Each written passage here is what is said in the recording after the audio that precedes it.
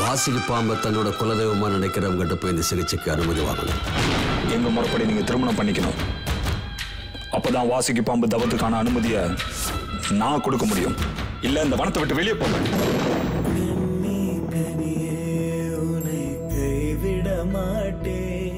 அரண்மனை கிளி திங்கள் முதல் வெள்ளி வரை இரவு ஒன்பது மணிக்கு உங்கள் விஜய் மற்றும் ஹாட் ஸ்டாரில்